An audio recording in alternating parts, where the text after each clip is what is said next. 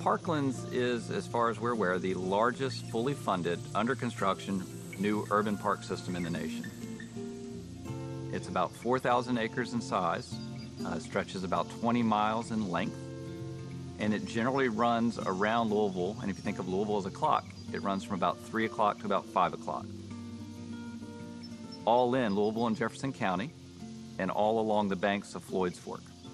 It's a small tributary of the Salt River uh, that also is a tributary of the Ohio. It's named for John Floyd, who's one of our early, early pioneers and settlers in this region, who was here before Daniel Boone and Squire Boone. We think of ourselves as a gateway park. A lot of folks who are going to experience the outdoors for the first time may do so in this park. And what we're trying to do is provide a world-class gateway for them to get outdoors, get active, and have a good time. We broke the park into four sub-parks. Each park is named after a tributary of Floyd's Fork. So at the north, we have Beckley Creek Park. That is a very uh, people-centric park.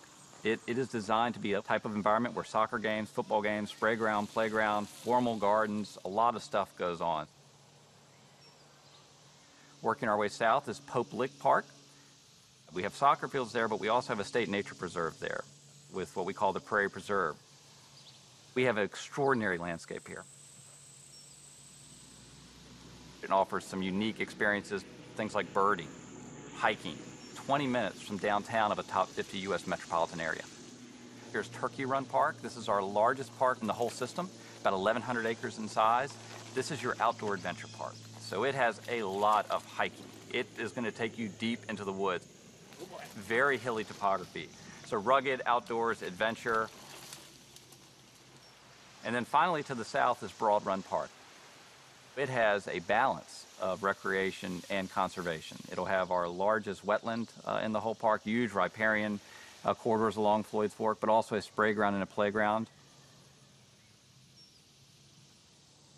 We are standing in the Humana Grand Allée. It's part of Beckley Creek Park, and we are in the Allée wetland, as you can probably tell from the water behind me. Um, it's a great place that we like to use to interpret wildlife and the wetland features, and a great place to come see wildlife, be it in spring for the salamanders and the spring peepers, summer for frogs, and then even in the winter when the migratory waterfowl come through. The Louisville Loop is a recreational pathway, a 100-mile loop around the city. The Louisville Loop goes all the way around it, we picked up the section of the loop that runs from 3 o'clock to 5 o'clock. And that pathway that runs all the way through our park, about 20 miles in length, will be a great experience on its own for someone because it will allow them to get from one end of the park to the other uh, without having to get off their bike. You got to have dog parks these days. It's a feature you need to provide just like you provide playgrounds. We're very lucky to have a great partnership with the Louisville Dog Run Association. We're really happy to give folks a place to let Fido come out and work off some energy.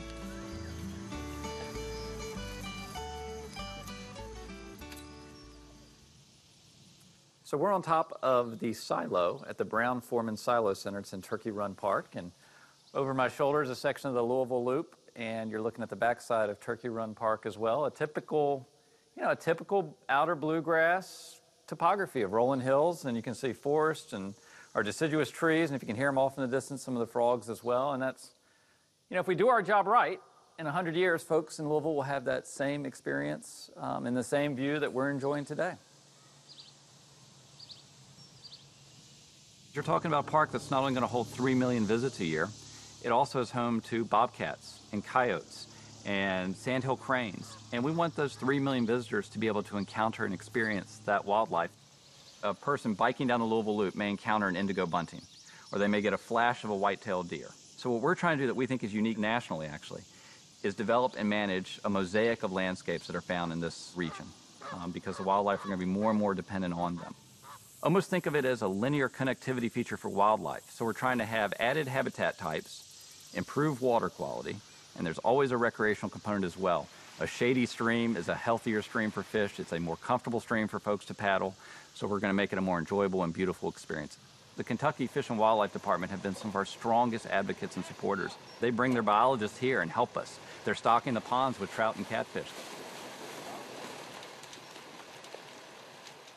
Where I'm standing now is a section we call the Flats. It's in Beckley Creek Park. As you can probably tell, a very shallow section of the fork, easily accessible. We put it, a lot of trails here for young families, so you can come get your feet wet, or as you can probably see from me, get a little bit more wet than that, uh, and enjoy Kentucky streams and Floyd's Fork. The Festival Promenade in Beckley Creek Park. This is our festival and event space. It's designed with these little cutouts to be able to host tents for art shows, farmers markets, sports fields that can be used for any sort of sport. And this is really a statement of the parkland's architecture, very formal shapes, meeting the natural areas such as the wetland behind us and the plantings that surround us as well. We have a variety of venues in the park, from the Gheens Lodge, which is our formal venue, to our new event barn open at Silo Center that are great for weddings. Folks can elect to bring their special event to the park. We give them a beautiful venue in which to have a special and memorable experience.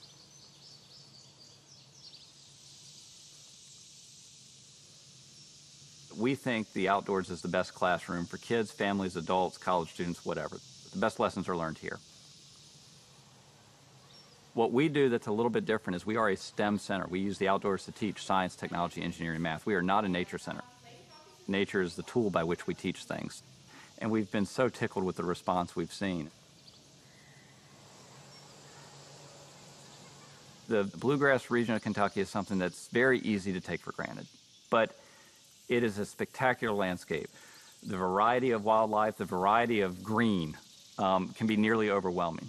And our park's job is to awaken the senses, to experience in new ways, to understand it in new ways.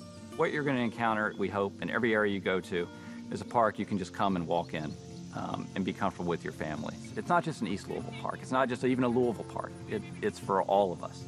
What we really want to hold on to is a landscape of a visitor experience and habitat that does nothing but get better and better year after year.